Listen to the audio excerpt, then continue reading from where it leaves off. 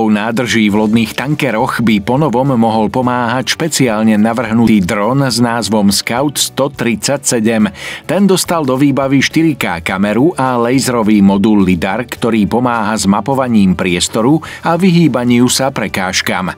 Prípadné praskliny v nádrži pomôže dronu odhaliť 6 LED reflektorov s celkovým jasom až 10 tisíc lúmenov. Video sa prenáša z dronu do ovládacieho tabletu operátora pomocou káblového pripojenia. Tento kábel tiež slúži na napájanie dronu, takže nie je nutné riešiť nabíjanie alebo výmenu batérie. Počas letu dron vytvára 3D digitálnu mapu vnútra nádrže.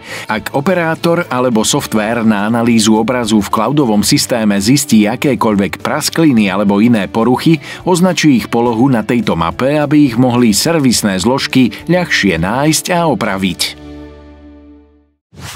Konverzná súprava Cargo Drive je navrhnutá tak, aby premenila bežný bicykel na nákladný bicykel s elektrickou asistenciou šliapania do pedálov. Súprava obsahuje 20-palcové predné koleso s 250W motorom v náboji, hliníkový predný nosič na prepravu nákladu so zabudovanou batériou, svetlomet, stojan a tiež zobrazovaciu jednotku na riadidlá spolu s ovládaním elektrickej asistencie.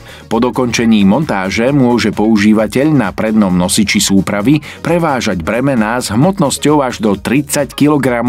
Súprava mu pritom poskytne elektrickú asistenciu šliapania do pedálov až do maximálnej rýchlosti 25 km za hodinu. Batéria by mala na jedno nabitie poskytnúť dostatok energie na prekonanie vzdialenosti približne 60 kilometrov.